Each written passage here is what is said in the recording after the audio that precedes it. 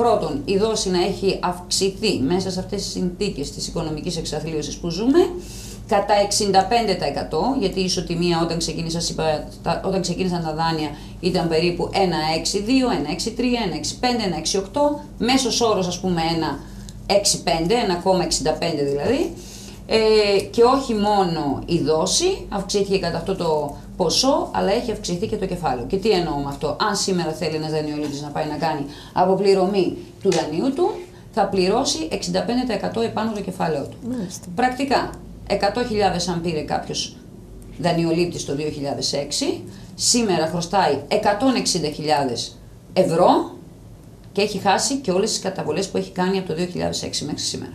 Όταν Όπως λέτε, καταλαβαίνετε. έχει χάσει, τι εννοείται δηλαδή; Δεν καταλογίζονται στο δάνειο. Λόγω της διαφοράς ισοτιμίας.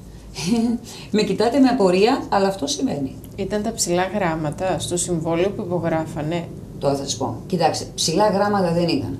Ήταν όμως ο όρος τόσο ασαφής που οι δανειολήπτες δεν μπορούσαν να αντιληφθούν τις οικονομικές συνέπειες αυτού του όρου, όπως και τον οικονομικό λόγο γιατί μπήκε αυτή η ρήτρα μες στο δάνειό τους. Έχει εκδοθεί μια απόφαση του Ευρωπαϊκού Δικαστηρίου 34 του 2014, η οποία έχει αποφανθεί, μιλάμε για ε, ίδια διαφορά ελβετικού φράγκου στην Ουγγαρία, ε, βάσει της οποίας ο όρος που προέβλεπε την ισοτιμία, δηλαδή την αποπληρωμή του δανείου με τη συγκεκριμένη ισοτιμία, έχει κριθεί ως αδιαφανής. Δηλαδή αυτό που σας είπα πριν, ότι ο δανειολήπτης όταν έχει τους όρους των τραπεζών ή οποιασδήποτε σύμβασης προδιατυπωμένης, θα πρέπει να καταλαβαίνει τι υπογράφει από την άποψη τους οικονομικούς λόγους που μπαίνουν κάποιες ρήτρες μέσα στην σύμβαση, καθώς και τις οικονομικές συνέπειες από αυτό. Ε, λοιπόν, οι δανειολήπτες, επειδή δεν ενημερώθηκαν σωστά, δεν αντιλήφθηκαν. Και το εννοώ αυτό.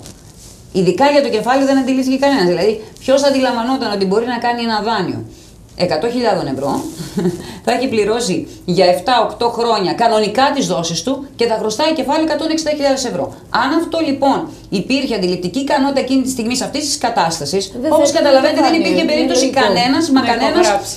ακριβώς να συνάψει τέτοια σύμβαση. Ε, Κάπως λέγεται αυτό, αθέμητος τρόπος πωλήσεων. Δηλαδή, ή Κοιτάξτε, όχι. υπήρξε. Δεν θα, Είχε- μάλλον δεν θα το πω εγώ, το πούν τα δικαστήρια. Ναι, υπήρξε υπήρχε ένα αθέμητη τέτοιο εμπορική πρακτική. εμπορική πρακτική. Αλλά από εκεί και πέρα σας λέω ότι ε, τουλάχιστον αυτό που έχει επιτευχθεί σήμερα στα δικαστήρια πλέον στην Ελλάδα, έτσι από τη δική μας πια δικαιοσύνη, είναι οι συμβάσεις των δανείων, τουλάχιστον σε πρωτόδικο βαθμό, γιατί δεν έχει δικαστεί, δεν έχει πάει κάποια υπόθεση ακόμη στο εφετείο, να αναγνωρίζει το δικαίωμα του δανειολήπτη να καταβάλει το δάνειό του με την ισοτιμία εκταμείευση. Δηλαδή με την αρχική ισοτιμία όταν το είχε πάρει και να μην έχει αυτές τις αυξομοιώσεις της δόσης και του κεφαλαίου με βάση την ισοτιμία. Να πληρώνει δηλαδή το κεφάλαιο που πήρε συν τον τόκο που οφείλει.